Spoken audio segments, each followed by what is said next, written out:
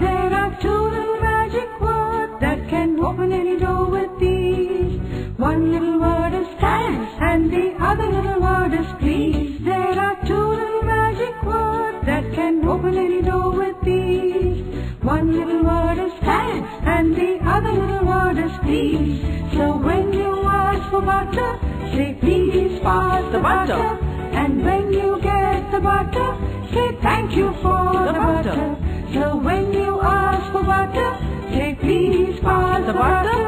And when you get the butter, say thank you for the butter. There are two little magic words that can open any door with ease. One little word is thanks, and the other little word